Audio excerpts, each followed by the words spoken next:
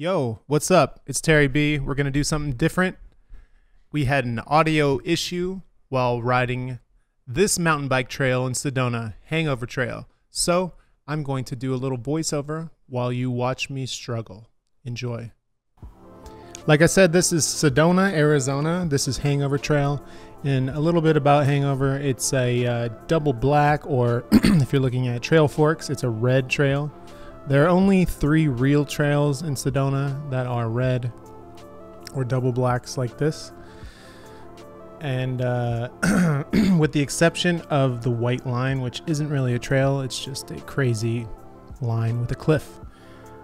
So we've never ridden Hangover before. This is our first time, and I am riding with Amir and I am riding with Andre. They are behind me. and the start of this seemed pretty easy. There were some hikers like these guys here. And uh, I was really um, taking it easy for the majority of the trail because I knew I had seen videos of people riding this uh, and it looked really crazy. Um, and I will say this is one of the first first times I rode a trail where I felt I was out of my league. like this pushed me. Sedona as a whole, all the trails really pushed me and made me a better rider. But Hangover is one that I've never I just there's nothing like it. And you're riding on the sides of cliffs and you're riding on up and over rocks and doing things um, doing things that I had never thought were possible on a mountain bike. Like even this turn right here. Obviously, the GoPro's ruining how steep it is. Like doing that left turn, I was really surprised. Like they're that's Amir filming me do it because it was such a kind of a hairpin uphill turn to the left. And if any of you are watching this who have ridden Hangover or live in Sedona, I'm sure you're laughing at me, but this is this is really uh, this was a real challenge for me this whole this whole trail. So, um, and I appreciate that about it.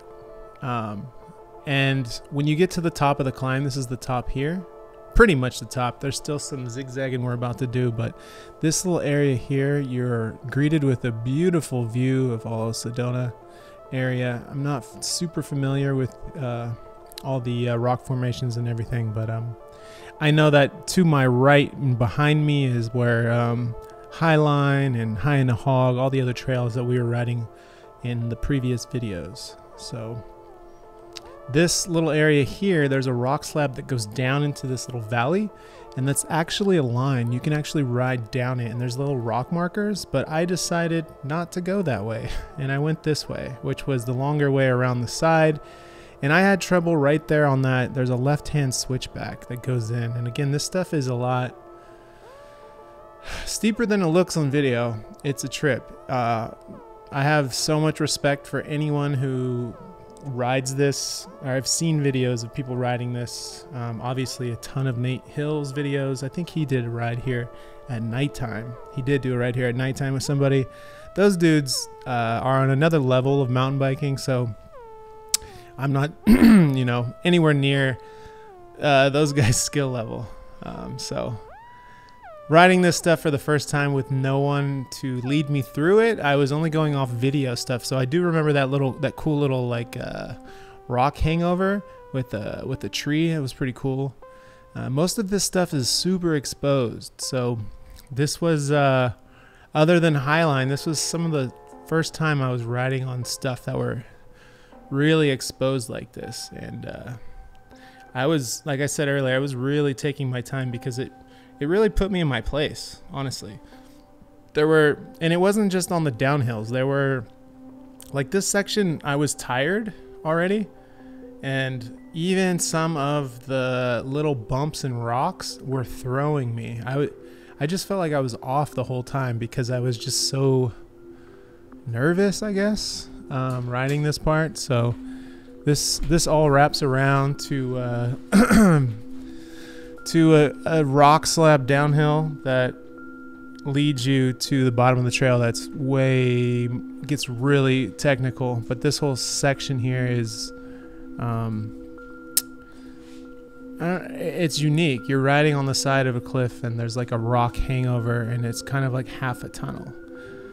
Um, and a lot of these times, uh, there were three of us riding. So you know, after I would get through a certain technical area or a challenge for myself, or if I get popped off my bike, I would like wait uh, for the other two guys to come up, you know, and see how they're doing and if they rode it or they walked it or whatever. So that was really cool to. Uh, good time to catch my breath.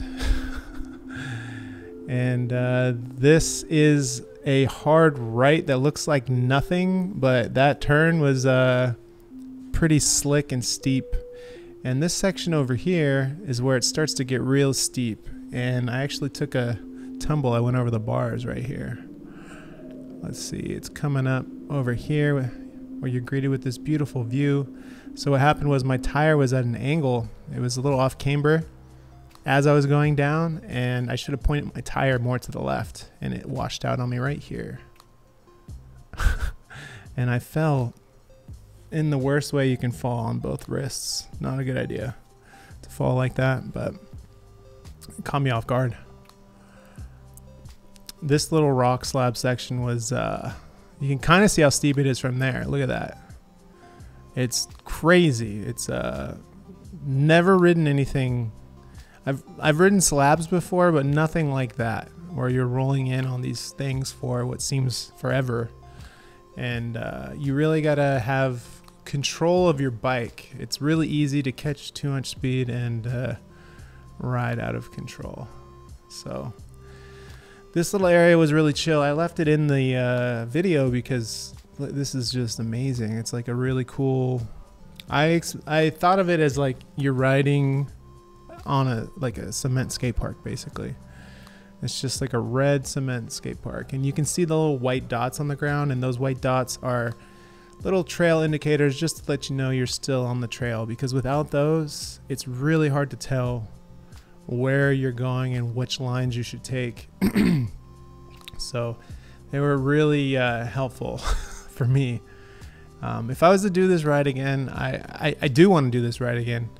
Uh, I, I would like to ride with someone who has experience riding it already and knows maybe some better line choices um, because they're not all uh, I don't know. You come around a corner and and it's not all about the technical downhill. There might be a really punchy rock climb around a corner that just throws you off, or like a root on the side of an edge and then a downhill with a sharp, uh, you know, left turn all of a sudden, and you just, you know, it's better to know where to be on the trail before that stuff happens. So, uh, following someone through a lot of this really helps. Um, by this time, I was already, I wouldn't say I was defeated, but I was uh, humbled. Uh, like I said, this trail really put me in my place. Uh, it pushed me uh, out of my comfort zone, but it was, I felt it was, we, all of us as a group, I'm speaking for the other two as well. I think this trail was just a little bit more of a challenge than we were expecting when we first rode it, which which is good. I'm happy that it was actually because um, not saying that we are all super talented mountain bikers by no means, but um, when we rode Highline uh, a few days before this, uh, you know, we were told we have to ride it, and everything on ha- on Highline was manageable. When there were things on this trail that I was just like, "What in the hell?" And they're both rated the same, so that's why we thought, "Oh, maybe it'll be similar to Highline." Um, we also rode High on the Hog, which was right before or right after this, and we also uh, realized that High on the Hog wasn't as crazy as it was rated, but there were some a couple tricky features there as well. So trail ratings vary everywhere. I guess being the moral of the story.